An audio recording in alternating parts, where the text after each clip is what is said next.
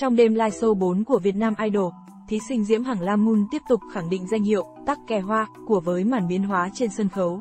Lựa chọn bản hit đình đám yêu dấu theo gió bay của Hiền Thục, Diễm Hằng đã khéo léo biến ca khúc trở thành một phiên bản đậm màu sắc của mình với chất giọng baby voice thương hiệu. Mỹ Tâm dành nhiều lời khen ngợi cho Diễm Hằng, tuy nhiên nữ giám khảo khuyên thí sinh nên hạn chế vũ đạo vì có vẻ hơi tham.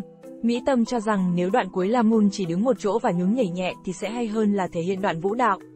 Tuy nhiên, nhạc sĩ Huy Tuấn lập tức phản biện, là chị thì muốn gì mà không được. Còn đây là cuộc thi nên các bạn thí sinh muốn thể hiện thôi. Nhạc sĩ còn khen ngợi Diễm Hằng hát rất tốt, khiến anh nghĩ rằng nữ thí sinh này có lip sync, hát nhép hay không. Màn tương tác giữa Huy Tuấn và Mỹ Tâm khiến khán giả thích thú. Cũng trong đêm live show, thí sinh Thu Hiền Helen tiếp tục bứt phá với ca khúc Bad Boy. Giám khảo Mỹ Tâm đánh giá cao sự lựa chọn bài hát này cho rằng Helen khắc phục được hạn chế ở tuần trước. Tuy nhiên, Helen cần tiết chế ở những nốt cao. Giám khảo Huy Tuấn bày tỏ, em có ngoại hình xinh đẹp và hôm nay em rất đẹp. Ngay lập tức, giám khảo Mỹ Tâm lên tiếng cảnh báo nhạc sĩ Huy Tuấn không được khen thí sinh nữa mà hãy tập trung vào chuyên môn. Nữ ca sĩ còn nói đùa sau đêm thi sẽ mách với vợ Huy Tuấn vì anh nhiều lần khen thí sinh đẹp. Màn tương tác của hai vị giám khảo khiến khán giả thích thú.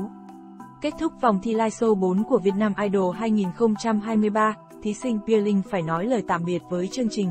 Mỹ Tâm cho rằng việc giọng ca nấu ăn cho em dừng chân tại vị trí này sẽ là điều tốt nhất cho cô.